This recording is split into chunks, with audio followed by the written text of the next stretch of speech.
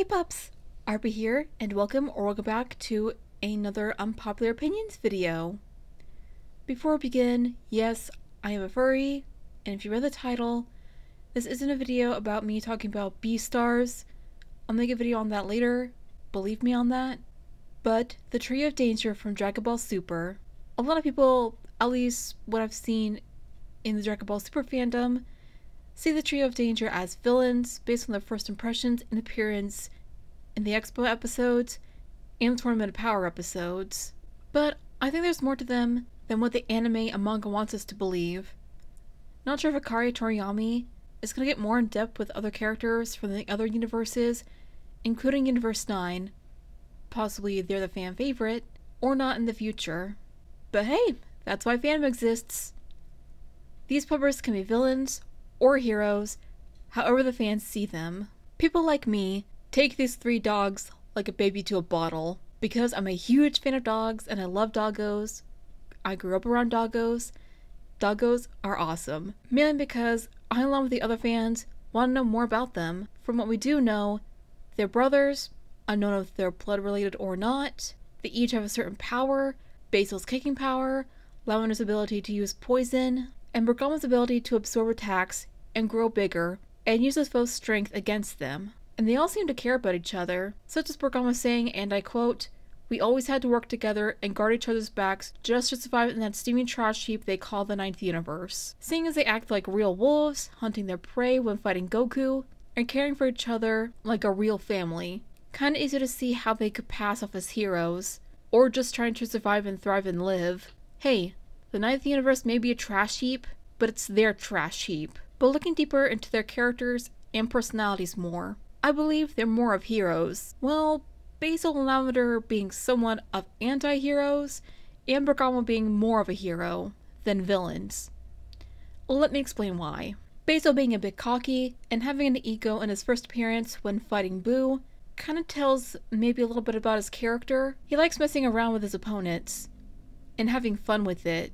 Wanted to make fighting someone like Buu look easy, which clearly wasn't if you watched the episode, and going above and beyond to win, such as eating a power up to make him Hulkified. To me, Basil seems like the kind of character who's all tough and Mr. Macho and will do almost anything and everything to win. But the reality is, he's basically a kid. They never said how old he was, I'd say he's around maybe 16 to 18 or in his early 20s, judging by his behavior and character. Just wanting to show off to impress people and show how strong he is, his brothers, and the entire Ninth Universe, and not wanting to let down his Kai, Destroyer God, or his brothers, but seemingly ends up underestimating an opponent, like Buu if it gets a little too cocky and slips up. Lavender. Hmm. I wouldn't go as far as to call him a villain just by psychotic and sadistic behavior and evil redneck vibe he has? Well, let me explain further. Hopefully I'll make sense. While Lavender has a sadistic look and ability to use poison, he is actually somewhat of a nice guy. Now, he will go to the extent of cheating by using his poison to win or kill his opponents, but he could also use it to protect his brothers if they were in danger or they couldn't want to fight with a foe stronger than they are. Adding that to the psychotic and sadistic side of him, it's either used for intimidation, a scare tactic, him actually being crazy, or all of the above. But with him being an anti hero just like Basil, it's easier for me to see why he'd be in that category. Lavender being an anti hero, at least in my opinion, is pretty easy to classify him as such. Like with Basil and Bergamo, he does care deeply about his brothers. He isn't above cheating when it comes to winning a fight, but I believe deep down inside this crazy, toxic, obsessed wolf looking coyote boy is a man with a heart of pure, glittery gold and will do anything to protect his brothers. Speaking of which, on to Bergamo. At the beginning, we all knew from the start he was the leader of the pack. Telling Basil to make it look easy when fighting Majin Buu,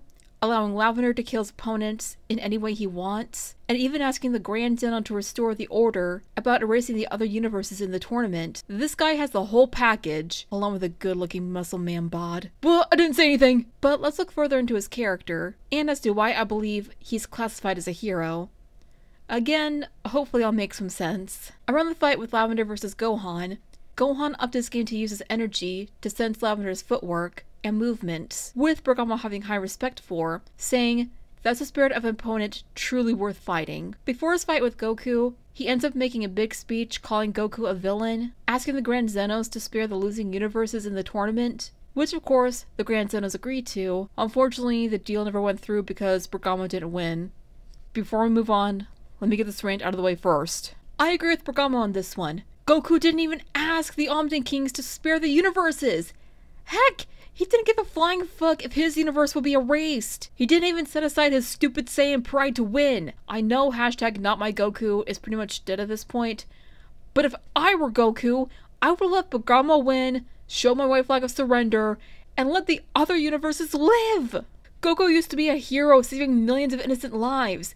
But now doesn't give a shit and only cared about his stupid Saiyan pride! What, are you Vegeta now, Goku? Or are you the Saiyan version of Frieza? Okay, okay, I'm good. Sorry.